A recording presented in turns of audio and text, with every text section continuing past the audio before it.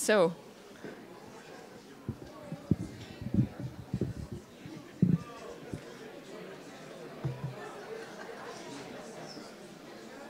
I think I'm uh, allowed to open this um, session now. And um, so, I welcome all. And um, we have our uh, keynote speaker today. I would like to introduce him. So, we have uh, Professor Emeritus um, Lex Bouter with us. Um, he um, is a professor of uh, methodology and, and integrity at the Department of Epidemiology and Data Science of the Amsterdam University Medical Centers, and also at the Department of uh, Philosophy at the Faculty of Humanities of the Vrije University of Amsterdam. I mean, he's, he's, he's known very well for his uh, research in research integrity and um, an activist in open science matters. Um, and uh, some of you might, of course, also be familiar with the conference he um, initiated. This is the World um, Research Integrity Conference, and uh, Hong Kong Principles might sound a bell. So um, I, it's my pleasure to hand over to him now, and he will speak to us on how, why research integrity matters and what is out there in terms of how can we improve it. So over to you, and please think about questions. We have some time after, and I, I look forward to our discussion. Well, thank you very much for the nice introduction. Uh, let me get this going. Yeah, that's the right one. Um, as it was alluded to already, my topic is research integrity. And I'll talk about research integrity, explain that it mat matters, and also how it can be improved, because there is room for improvement. What I do have on the menu are the following points.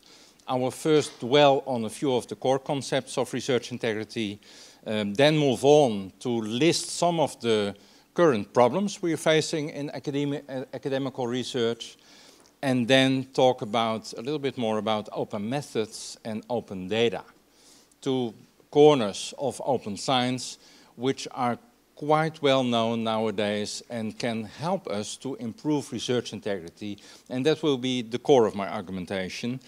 And then I move on to some other methods to improve research integrity and in fact also research quality, because research integrity is about research quality.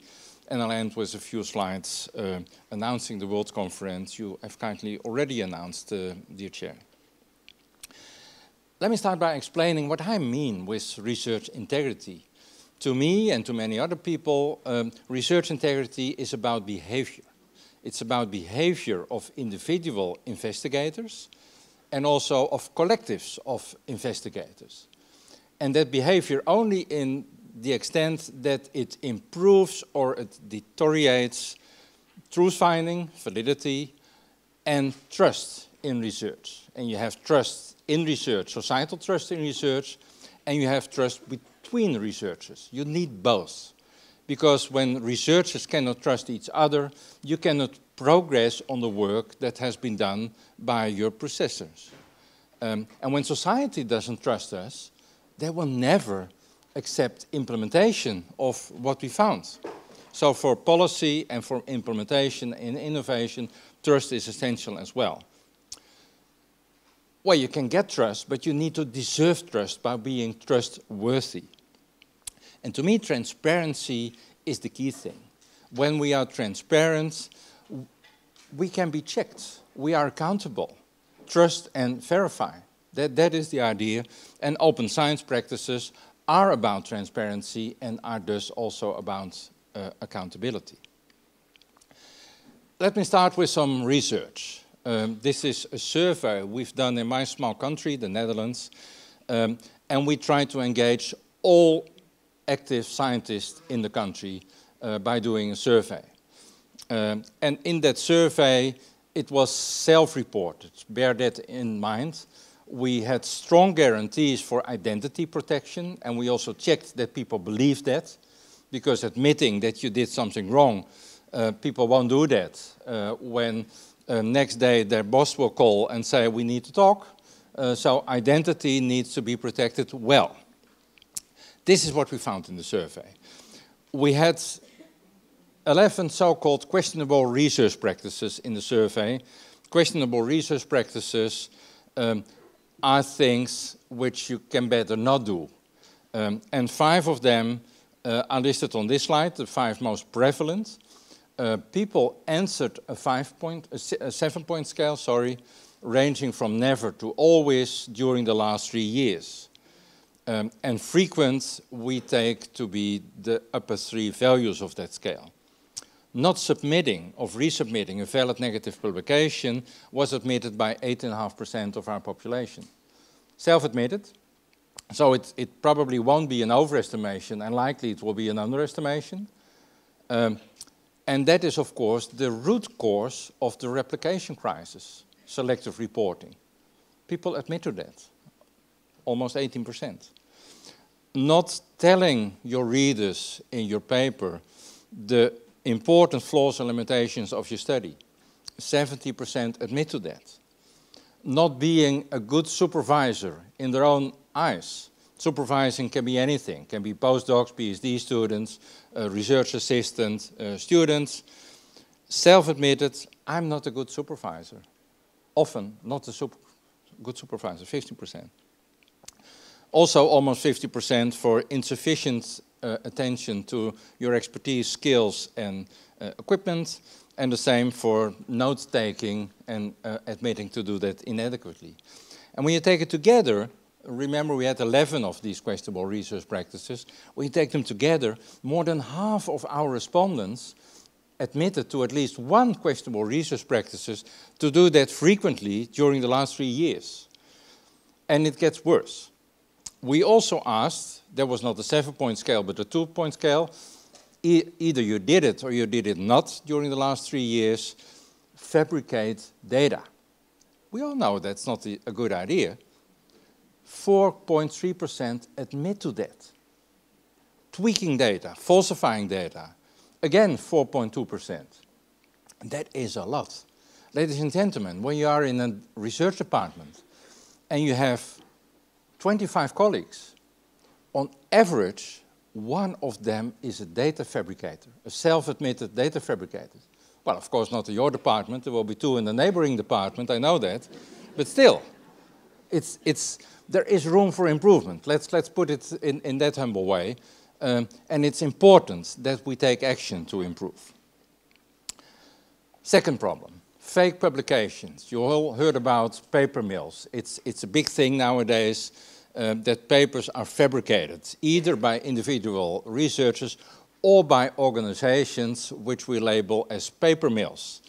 Um, they make them from scratch. Uh, humans can do that, software can do that. Uh, ChatGPT is a great tool for paper mills. They love it uh, and they use it abundantly already. We've seen that. Um, you can also plagiarize other papers, translate them, put pieces together, uh, write new papers by old ones, and there is good software for doing that. And also, that software can help you to prevent being detected by an, uh, a plagiarism detector software. It, it, it works well, awfully well. Um, these companies, these fake, uh, these paper mills, they sell authorships you can find websites where you can buy a first, a second, or a last authorship on a paper um, on a no cure, no pay basis in a certain impact factor range. And why is that? Because people need that for their career. So the temptations are out there, the perverse incentives are out there. I'll talk that, about that later on. Fake reviewers. These paper mills have clever tricks to review their own manuscripts. Uh, they make a new email address for a well-known authority and they handle that email address and they review their own stuff. Big publishers have a lot of work now to detect these things. It's, it's awful. You have also fake editors, especially when they have uh, supplements uh, dealing with fake conferences. They exist as well, fake conferences. It's a mess. And we have completely fake journals, websites of uh, reputable uh, journals are, are copied, uh, mimicked, and then they are going into a paper mill factory as well. So it's quite awful what's happening. We need to fight that, and that's important. Third and last problem I'd like to allude to, and that is the problem of the replication crisis. It's now in the air about a little bit more than 10 years. Nature 2012, animal research in oncology, uh, a little bit more than 10% was reproducible. That means that when you redo a study in this exact same way, you get only in 10% of the cases the same finding. That was shocking. That was shocking. Later on, we did some uh, surveys, we did some studies, we uh, Royal Societies in the Netherlands and the Academy of Sciences in the USA did some learned reports on them. They're, they're completely boring, boring, but you can read them because all the details are in there. Uh, by the way, all my slides will be available through the website of this conference later on. And below the slides, uh, I have many references to, to reports, to YouTubes, to TED Talks, to articles, whatever. So you can dig deeper if you want. I don't like references in slides, but they are below the slides, and they're available to all of you. Recently, a few weeks ago, um, a systematic review appeared, well done, many studies, 177 uh, replication collections summarized together, and it appeared across the board all the disciplinary fields were included across the board. Only half of them, 54%, were replicable. It's not good enough. It's not good enough. And as I said before, selective reporting is probably the root cause of that. Let me summarize what I said so far. Um, on the left side of the slide, you see in, in, in reddish coral the, the, the, the, problem, the fabrication, the falsification, the plagiarism, the questionable research practices, and the replication crisis. They all together and individual lower validity and trustworthiness of research. I also already alluded to the fact that transparency is wonderful. Transparency is boosting validity and trustworthiness because it makes you accountable as a researcher. You can check and verify. You can do the replication studies if you want. And open science, that's my next thing, helps a lot to improve transparency and two specific elements of open science, namely open methods and open data, they help a lot to improve the research practices. We call them responsible research practices, and they can help to detect problem, uh, problems in the three panels on the left side of the slide, and also to improve the situations in terms of prevention. And that is a main message of, of my talk. Um, I know, of course, that open science is a lot more. Uh, this is a slide by Brian Nosek. He used it a few months ago uh, at the 10-year anniversary party of the Center of Open Science. It's an expanding universe open science is about everything. It's, it's, it's a, containing, a container concept, and, and it runs the risk to mean nothing anymore because there's so much. All the important um, equity, diversity, and inclusion issues, the EDI issues, are sleep, sneaking in there as well. Well, you can do that, but you cannot lump all the problems together. I try to focus now for this talk um, on the open methods and the open data. Uh, and I'm not saying that the rest is unimportant, but only that I will not talk about it today. Open methods, most of you will know that that's about registration or, or pre-registration. Um, that means that you first write what you're going to do in your study, you park it somewhere in the cyberspace with a timestamp on it, uh, to document that that is your plan before you embarked on data collection. And then later on, everyone can check that you did what you planned. It's not a prison. You can change your plans along the way, but then you have an amendment. The amendment is also time-stamped, and then everyone can see when you made the amendment and whether your, your, your analysis might be data-driven a little bit or not. So check and verify it. That enables it, and it enables also replication. Because when the recipe of a study is not available, you cannot redo it. That's a big problem with many studies. You have no clue what they did. And, and when you read the method paragraph, that's usually not a good recipe of what, what happened exactly. It's not good enough to replicate a study. And there is another thing called registered report Um, and there is, that is in the middle, sometimes full um, protocols, including data analysis plans, are published. And I like that a lot, because really, you need that for a replication study. Otherwise, it's, it's hardly possible to do a replication study. And then there is this thing called registered reports. I allude to that on the next slide. The essential traits of registration, that's a term in biomedicine, and pre-registration, that's a term in, in social sciences, um, are that it is prospective. That, that's what I just alluded to. You do it before you start collecting your data. It's nice when it is public, because then everyone can check what you did.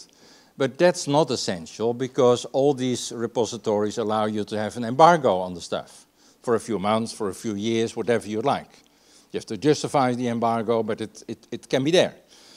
And then the amendments, I alluded to that already, they can be time-stamped, uh, added to the registration. And this is the registered report. It's, it's so wonderful. I, I love it a lot. It's still in the early phase of adoptions. Uh, a little bit more than 300 journals are now using it. And the idea is brilliant. Two-stage peer review. Uh, when you have a grant, when you have permission, when you need it for, for medical or research ethics, and when you're about to start your data collection, then you stop and you first write your article. That is to say, the, the first paragraph of your article, the introduction and the method section that you send to a journal.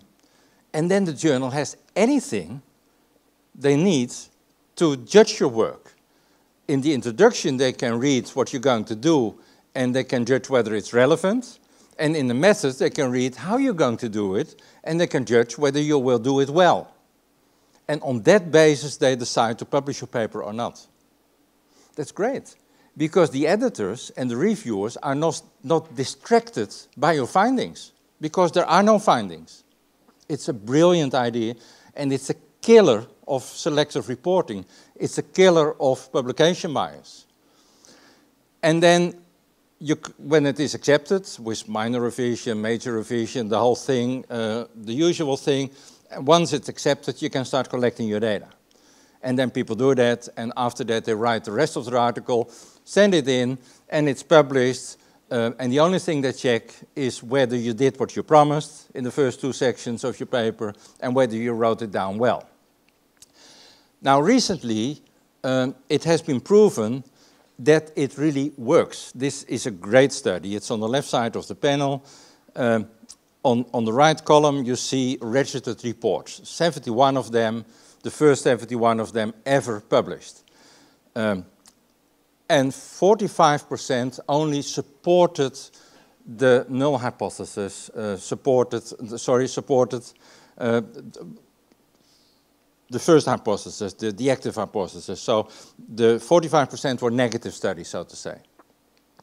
And then they took um, a sample, a well-matched sample, double match sample of 152 regular studies same topics, same journals, uh, same types of research, and so on and so forth. And of these studies, uh, more than 95% were positive. And that's usual. That has been investigated a lot in many journals, in many disciplines and subdisciplines. People have 95% positive result, 90 to 95% positive result. So this shows that it is a killer of selective reporting. And there is a bonus. The bonus is on the lower right panel of this slide, you see all types of indicators for study quality and study methodology, and they're all superior for registered reports. Why is that? That is because the peer review is so helpful. I'm a methodologist. And when I was doing peer review in the past, I was always nagging about the methods of the study. That's so stupid. The study has been done already. It's not useful anymore, but now it's useful. You can make suggestions, methodological suggestions, and when they, the, the people like it, the, the applicants like it, they can improve their study. And that is what you see on, on, the, on the right panel on, on the lower part of the slide. So it's, it's, it's a miracle, and my small prediction is that this, this will get flying uh, specifically when the funders take it aboard. And now some funders are taking it board. They, they're saying, well, listen, you can get your grant to do this study. But there is one condition. You do a registered report first. You get six months to do the registered report, and you get a small amount of your budget to do the registered report, and only when that is done, you get the rest of the subsidy. That's so clever. That's so clever. This is the future. Well, I'm, I'm poor at predicting the past already, but I shouldn't predict the future. Sorry. You know about uh, fair data. I, I, I, won't dwell on that. It's really important, but I've seen that on this conference there are many sessions on fair data. Uh, libraries are doing great things with, with data repositories. So I'm not going to teach you about that. That's like, well, preaching to the converted, and you are the converted already. So I, I'll skip that, but I wanted to say that fair data is really important as well. Let's dwell now a few moments on what is the reason that researchers are not behaving that well. And, and we can see, supported by the research, that there are individual factors. It's about the virtuousness of these researchers. There are institutional factors, uh, the research climate in the research group, in the lab, so to say, and there are systemic factors. These are the factors which are the incentives, and they can be perverse or wonderful incentives. We also looked in our national survey into that. We had uh, nine scales, well-validated scales, for putative drivers of problems in research integrity.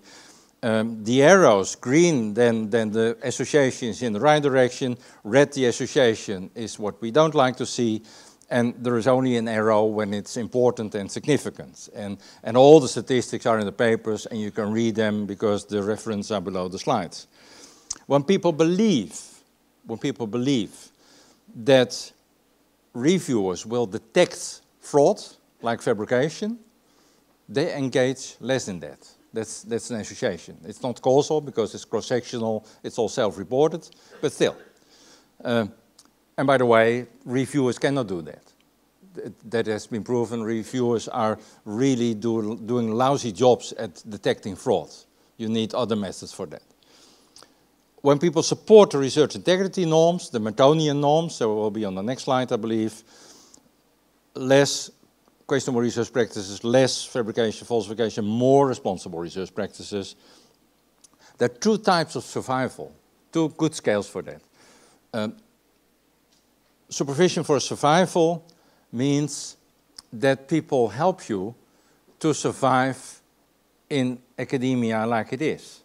They learn you how to cut corners, how to get the next grant, how to polish your paper uh, by leaving out a lot of negative stuff to make it more beautiful, uh, and how to get your tenure in academia by cheating a little bit and by cutting corners. And supervision survival is associated with more questionable research practices because it's, it's about questionable research practices.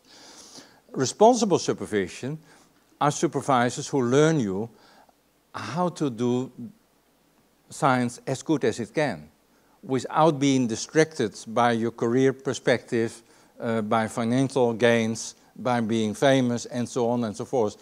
They learn you to pre-register to curate your data well, to upload them in repositories, um, and to do all the right things, and to be a good peer reviewers for journals, for instance. Normally, you don't get career points for that, but that's an important thing in academia.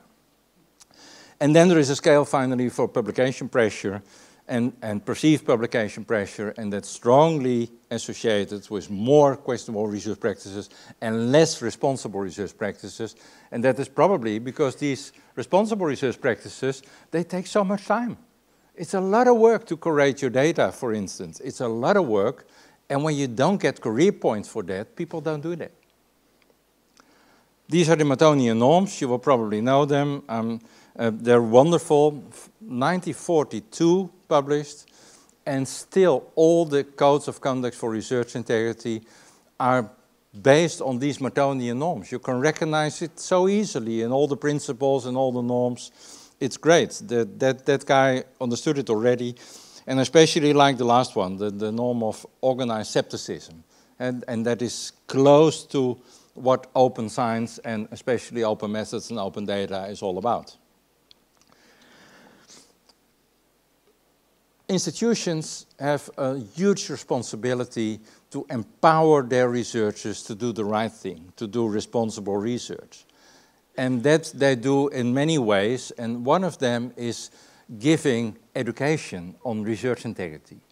It's nowadays quite normal to do it to PhD students, uh, and sometimes to bachelor and master students as well. It's not so normal yet, and that's unfortunately, to do it to more senior researchers. Uh, there are sometimes courses available, but they're never mandatory. Uh, the supporting staff and the people taking care of research integrity, hardly any courses are available for these people, and they have important roles in maintaining the quality of research and the quality uh, of, of science. And then, of course, it's not need to be a one-day course in a career. You need to have attention to research integrity all the time.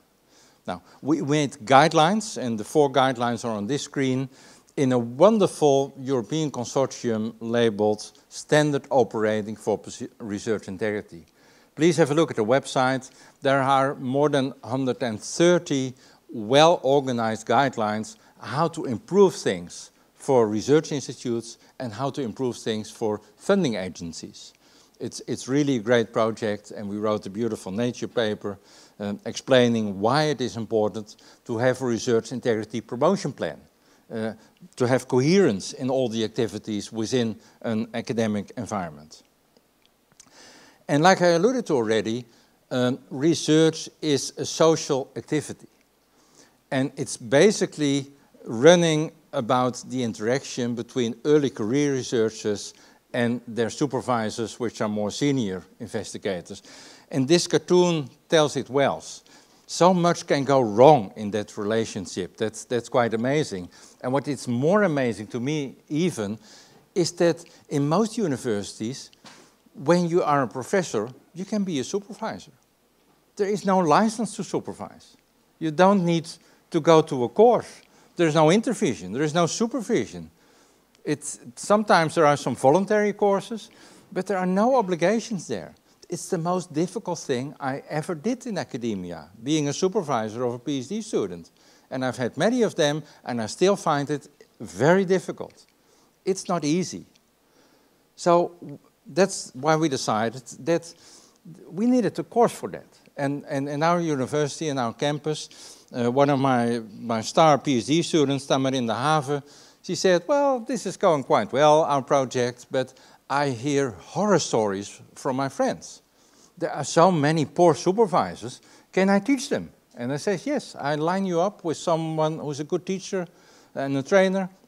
And they developed a course called Superb Supervision, and it's learning supervisor how to supervise in a way to promote responsible research practices in their students and postdocs. Uh, and it's a great success. They, they they're still teaching the course worldwide in all types of universities, and, and it's quite a hit uh, in, in, in, in Dutch universities as well.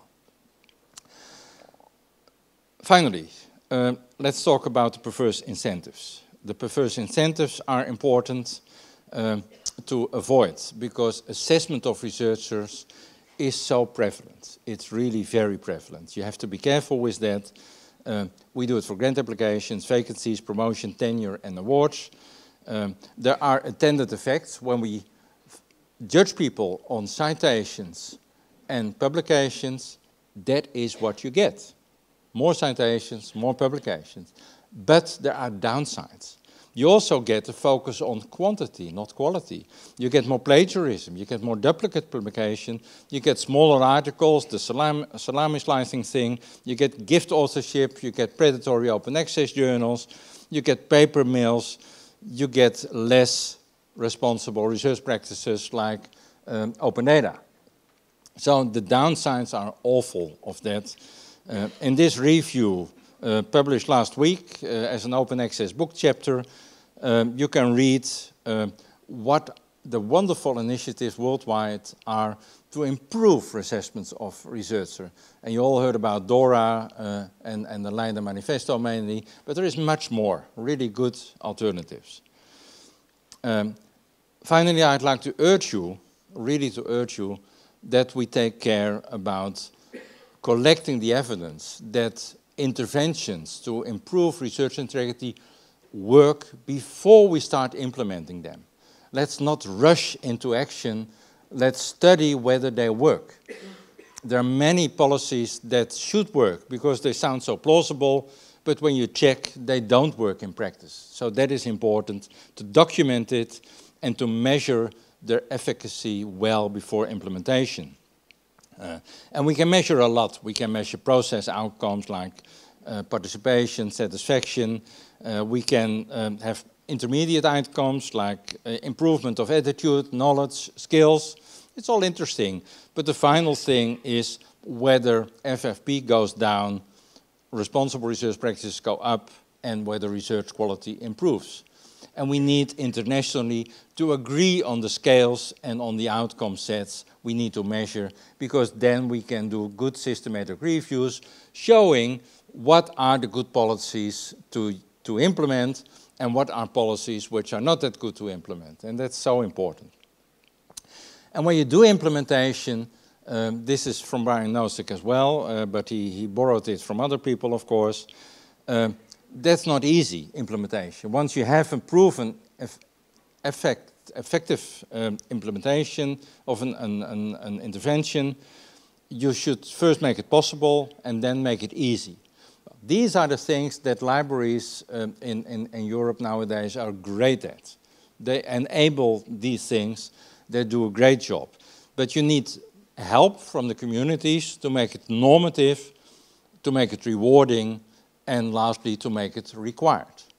And that is the way you implement a new thing. So you need to collaborate with the, the leadership of universities and also with the uh, academic community for the higher steps in this pyramid. I won't talk about these things. Um, I'm a great fan of open application, uh, open grant application as well, of open funding procedures in general, and open peer review is, is, is near to, dear to my heart. And I've published a few articles on lottery to, to give away grants. Uh, that might sound ridiculous, but it's a good idea. Uh, but I won't talk about that. Uh, my time is, is up. Uh, I'd like finally to say to you, if you like the topic, if you believe that the topic is important, please consider to come to Athens to the next World Conference on Research Integrity. It will be in June next year. Uh, it will be a hybrid conference, so you can do it online as well. And all the topics I've alluded to and much more will be on the program of this conference. There's a great conference website. Please check it out. There's a leaflet in your conference bag as well on this. And if you want more of former conferences and the videos of plenary sessions of former conferences, you can go to the website of the Foundation of the World Conferences. And on the Vimeo channel, we have many great lectures uh, available for you. It's also nice teaching material to use. Um, and with that, I thank you for your attention, and I'll hand over to the chair again.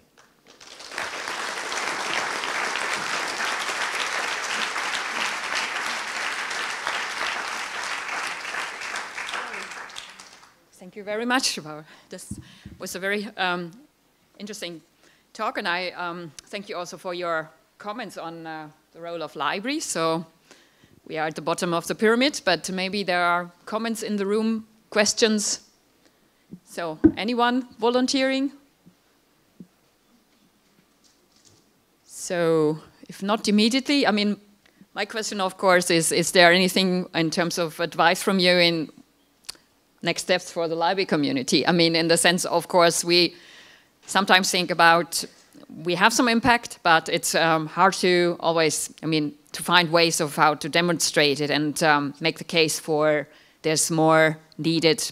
And um, as you say, the networks are important. I mean, the community has to take this up, and the researchers have to do their thing, and of course, then bottom up and top down meet in the middle. Well, it's a great question, but and I should be humble in answering it because I'm not a librarian. I'm a user of libraries, uh, but not a librarian. Um, what I see happening in my country and many other European countries is that libraries are centers of innovations on, on university campuses. It's really great what's happening there. They're working on systematic review, especially research searches. Uh, they, do, they, did well in the past. They're developing open uh, science methods, specifically open data. They're giving good courses, uh, e-learning, uh, face-to-face courses. They're doing great work, but communication. Make yourself known on the campus. I know on my campus in Amsterdam, wonderful stuff that's happening in the library, and hardly anyone of the active scientists on the campus have heard about it. They have no clue what wonderful assets are available to them. So you seem to have a, a, somewhat of an image problem, of a communication problem. And, and you can solve that by working together with local champions please try to identify a local champion on your campus or a few of them. Um, for, for instance, what, what, we have in our, our, country, and it happens in many more countries now, is this idea of data stewards. These are people in the faculties, in the, the, the large research departments, usually linked to the university libraries as well, that run the repositories and run the teaching and everything. Um, and, and then you see that researchers take notice. Well, of course, the open data is greatly helped by funding agencies making it an obligation, of course, as well. But, but there you see that the role of the libraries is now recognized. But, but you're doing much more, in, in my experience, but it's not that well known on, on most campuses. Yeah. So there is an image problem, maybe mm. slightly. Yeah, I mean, from the perspective of libraries, is also, also, you know, researchers have sometimes a hard time to leave their uh, silo. when they true, um, true. even if they tango. might take note. Um, so we we try this also through other formats. I mean, you might also have these type, uh, informal meetups on open science topics, and then some researchers come. Uh, to others, uh, you have a bit harder time because yeah. they they feel okay, we are the experts, and then okay, but still we don't know, and um, I I don't want to be exposed in, as someone who doesn't know. So. Well, that, that, that makes sense what you're saying, and, and um, I, I, fully agree. But, but, but maybe a, a, a, good thing to start is the early career researchers, because they they can hardly understand why we did things differently in the past. Um, and we have open science communities all over the place. We have reproducibilities. Uh, we have reproducibility networks locally.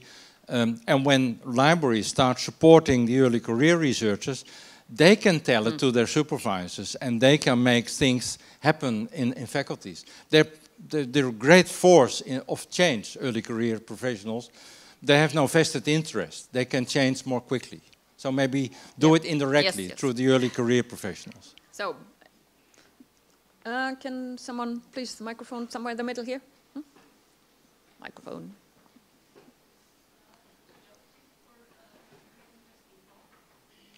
Can you use the microphone? Test it? Someone? So thank you for the very interesting talk that gave a lot of ideas. Uh, but um, uh, you started um, uh, your talk with uh, an argument that we hear and use a, a, lot in open science, namely that we need openness to be more transparent and more trustworthy. Uh, and it's also an argument that has been used during the COVID-19 pandemic. But at that moment, we also saw that non-validated papers were used in the press and um, uh, that uh, published papers that have been retracted afterwards were also used, as well as uh, papers that were still preprints. And that people also believe what they want to believe. So how do we tackle this? And is open science enough for this? And what will be, would be the role of libraries? Well, that's a great question. Um, and it's a great question for me as well. I, I don't have a real answer to that. Um, I only want to say that to me there is no alternative to transparency. It's, it's rather a no-brainer. Uh, it should be open there. And yes, there are undesirable side effects of, of being open. Uh, and that is when everything is pre-printed and people get carried away by preprints which are still not valid. Uh, it can go wrong, and, and people are selective in, in reviewing literature, uh, and that's the reason we invented systematic reviews and doing meta-analysis to, to push back that selectivity. But you still see narrative reviews focusing on specific corners the, the authors of the review specifically like. Uh, I'm, I'm not sure what it is, but it's, it's based on trust and distrust as well. Uh, what, what, we see happen during COVID in society was quite interesting and very, very puzzling. Um, we have no clue how to communicate well with society and with people in society in a way that they, they, that we listen to them in a normal way and also that they're able to understand that science is not about pontificating certainty, it's about assessing the magnitude of doubt you had. That, that is a difficult message to, get, to convey to many people, but that is the essence of the whole thing. So I don't have a real solution, uh, but I don't think we should close up again because of this undesirable side effect. So one more question in the middle. Um, yeah. Can you hear me? Yep. Uh, hi. Uh, thank you very much for your, your presentation. That was really interesting and full of ideas. Um, I have a, a, question regarding how we can be a useful uh, I mean, uh, person or service uh, as a libra library uh, for, I mean, in the case, for example, where we have, I mean, um, for example, I'm, I'm going to take the French context because that's my context. It's really hard uh, to uh, go for, I mean, deeper than just explaining to researchers or young researchers uh, research integrity when the sanction taken against uh, people who actually fabricate or falsificate are so small. Um, we had issues recently in France of people getting very small sanctions. And when institutions, are, I mean, we feel that sometimes we, we are identified I, people we can be, I mean, that researchers can talk to to be trained uh, in research integrity and to help them uh, navigate these issues. But how can we actually have, I mean, how can we be more useful in when um, sanctions are not really Working. big, I mean, for people who actually are well, doing that, fraud? That's again an important point. Um, well, I'm, I'm not a great believer in, in, in, in sanctions. Um, they need to be there, of course, but it doesn't work in criminology either. There's, there's a lot of good research on that. We, we have to be careful thinking that when you, the punishment and the likelihood of being caught, they do have some influence, but they're not the most important. What I believe is the most important, uh, and libraries cannot do a lot um, to that, I, I, I fear, that is um, what brings you career points? The assessment of researchers. When you get career points for being a great reviewer, for being a great supervisor, for putting your data in a repository, bonus points when someone else is using your data, bonus points when someone else is replicating your study, uh, being a good teacher. When we reward responsible research practices, I believe that is what we convey. The message is what we report, reward is important. And people will grasp that message and will start behaving that way. People are shouting that they want to be recognized for doing the right thing. No one enters research to become a fraud. Of course not. People want to improve the world. They, they have ideas to enter in, in research communities we should help them to do the right thing by making it easy and by rewarding the, the, the, the, the right thing. And that is the thing libraries can do. It was on one of my slides. Make it easy. And you can improve there as well, I guess. Um, I'm, I'm, I still have the memory of the early days of open access. And then you went to your library and you ask, okay, I want to publish this paper open access. And then you get a difficult story about author versions and and, and retention time before you could upload it. No one could understand these messages, only librarians.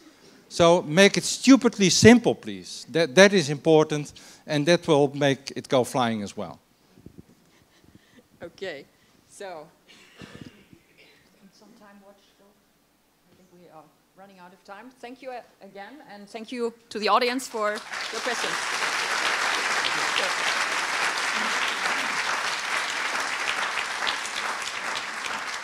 So-